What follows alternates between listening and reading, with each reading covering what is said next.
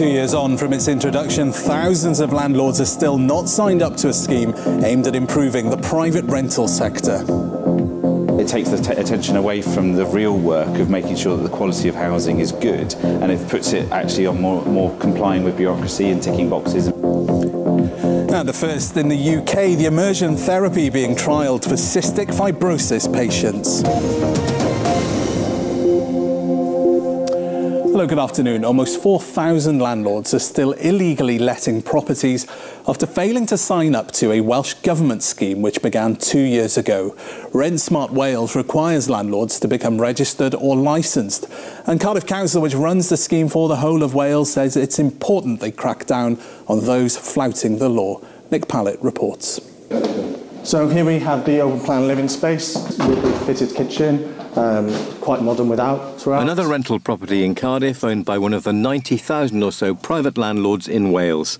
And for the last two years, such landlords have had to register with Rent Smart Wales or be fined. It's a move welcomed by most in the industry.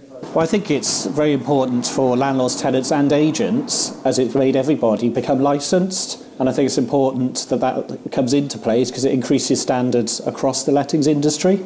However, figures out this week show that nearly 4,000 landlords still haven't registered.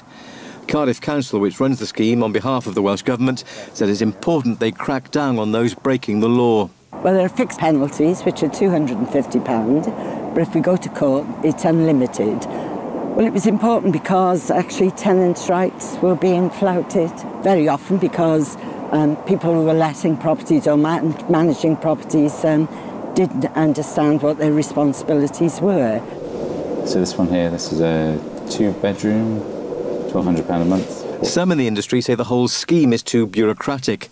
And last week, one estate agent in Pembrokeshire was fined £4,600 for flouting the rules. There's been a lot of bureaucratic issues around the implementation of it. The website is very difficult to deal with. It's very slow, very, very slow to deal with. Some agents are, larger agents are getting to the point where they're almost putting a member of staff on it full time just to deal with it.